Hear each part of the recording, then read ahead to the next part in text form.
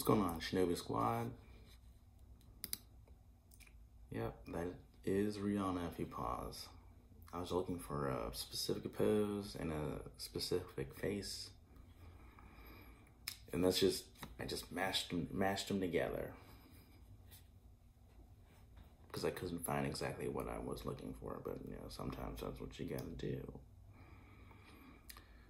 Just drawing out the sketch here. Redefining it. This is gonna be a short video because I'm trying to do this before work. And I don't know, are you excited for this movie? I am. I can't wait to see it soon. I started with the eyes first because sometimes I'll do the eyes and I want to make the rest of the character come to life. I want to see what they'll look like. Now the hair, I wasn't so sure about. I was kind of make trying to make it look like the tail.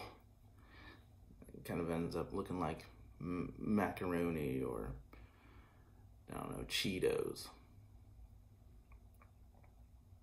I gave her a skirt because it looked looked more interesting that way.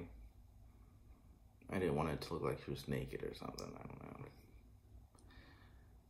Can't really do thrifty detective work naked, I guess.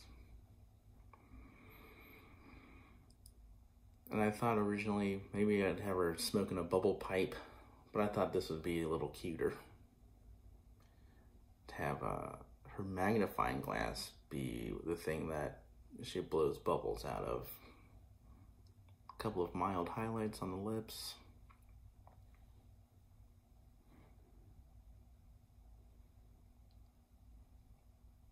And then at some point, there's a little splotch down in the bottom right. Um, I don't know if you're any of you digital artists out there do the same thing where you accidentally make a mark when you're trying to rotate or whatever. And you keep going and you, you don't realize it, but it's there and you want to um, figure out what layer it's on so you can erase it.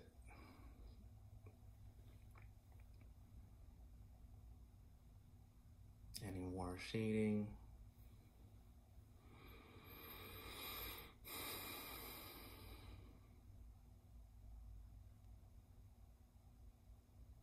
Yeah.